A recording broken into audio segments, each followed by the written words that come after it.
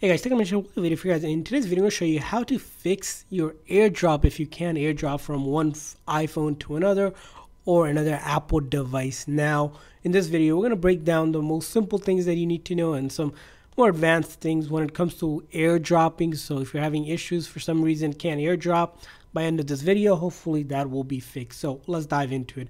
First things first, whenever you're doing airdrop, right, you simply go ahead and select a video, photo, whatever you want to airdrop, right? Simply click on that and then you hit that airdrop button and then the other phone here will display here or a device, for example, as you can see iPhone or MacBook, and you can simply click on that. It will go ahead and send it over to them. Well, let's say what if that device or thing isn't showing up on the other device. Now, the method that we're going to say you want to follow on both devices because it could be either device that's impacted. So First thing first to do on both devices is you're going to go ahead, pull down the top menu here, put in airplane mode, just like that for about a couple seconds, and then turn off airplane mode. What that does is just does a quick network reset of things like Wi-Fi, Bluetooth, which needs to be enabled for your airdrop to work and then same thing you know do the same thing on both devices here other, other way you can do is go through the settings here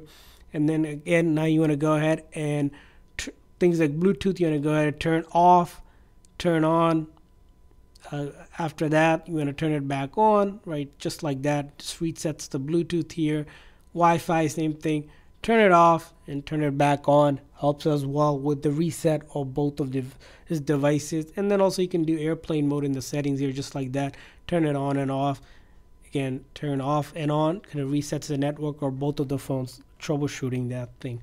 The other thing you also want to troubleshoot on both devices is if you have personal hotspot turned on, you want to make sure that is turned off as well. If you have a personal hotspot on, you'll see it in the menu up here. When you press on this, it will show up as a personal hotspot, which if we click on this and hold it down, as you'll notice here, personal hotspot is turned off. You want to make sure personal hotspot is turned off on both devices. Again, you simply click on this and then it will pop up just like that. Again now let's move on to the next thing. You'll notice here there's an airdrop option right? It's on by default but if you click on this it actually gives you another option for settings and that is airdrop how you receive airdrop on devices. So by default how airdrop works is that when a phone is within range and it's in your contact so if you have a device next to it their phone number or email whatever it is has to have to be in their contact of both of the devices. That allows the phone to know, okay, these are trusted devices that can do airdrop.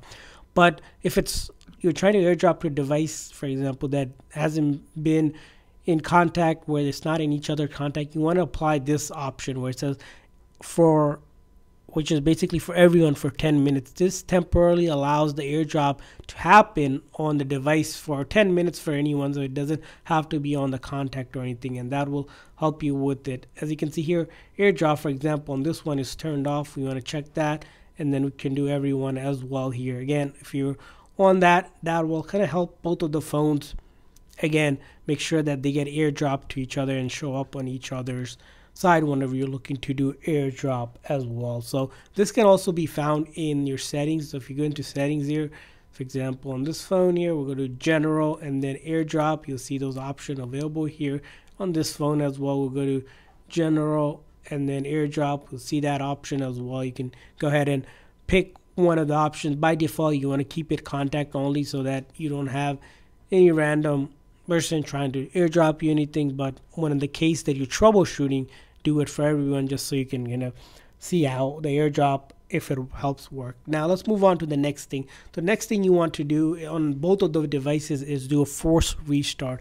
So force restart will not delete any data or video or any photos, media, any information that you have. It basically will reload the phone and give it a nice, fresh, clean slate restart and you know fix any minor software that issues that you have. So on iPhone 8 and above or in your newer devices, you're gonna do is this method here, which will show you.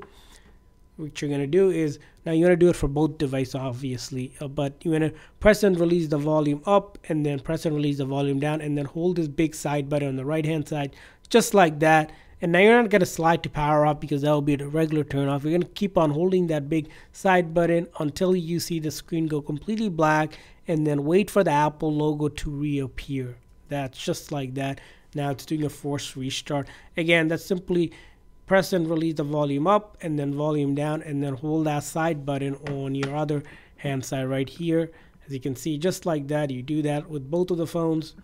Again, reloads both of the phones. They go completely allows to fresh restart again, solving a lot of issues, not just airdrop issues. Generally, the, one of the most go-to solutions that Apple recommends. And after you do restart it, try doing airdrop, and hopefully that works. Now, if that doesn't work, the next thing you want to do is go into settings here. This time in settings, you're going to go to general and then go down here where it says transfer or reset iPhone. You're going to click on that. And this time you'll do the first reset. And this time we'll do a network reset here just like it says over here so you're going to do the network reset but before you do that what does network reset do well basically network reset basically deletes anything related with the network itself so it resets all the settings like wi-fi passwords if you had a vpn set up uh, all of that. So make sure before you do this, you are sure that you, those things are fine to remove, like your saved Wi-Fi password for different Wi-Fi. If you had set up personal um, VPN or something like that, or company VPN, that those things could get erased. But it helps kind of resolve any network-related issue because the way Bluetooth work or AirDrop works through Bluetooth and Wi-Fi, you want to make sure that this you know when you do that reset you want to make sure you're fine having those things removed. You can set up later of course but this will not delete any data or video or photos or any of your apps anything like that. It's just the network related settings. Now once you have done that and it's not working it's finally time to do most famous thing Apple recommends when it comes to any issues is updating the iPhone software to the latest version to make sure there's no bugs or glitch that is causing this problem to appear. And to do this, again, we're going to be in settings again, just like this. We're going to general and the software update and make sure you're connected to Wi-Fi or cellular data and then make sure you see if there's an update that needs to happen you update it here you might be able to see let's take a look on this phone right you want to make sure you update both of the phones you want to check here in the software update. As you can see, this one has an update. We're gonna make sure maybe both of the version are about the same. So we'll go ahead and download install the update and update both of the phones. And hopefully by now all of these troubleshooting methods that will tell you help you fix your airdrop issues between both of these devices. And if this video helped in any way, please make sure the like and subscribe button. Also, we want to hear from you guys which solution worked or if you found a better way. Make sure to leave it in the comment section for everyone to see. Thanks for watching, guys. See you guys next time.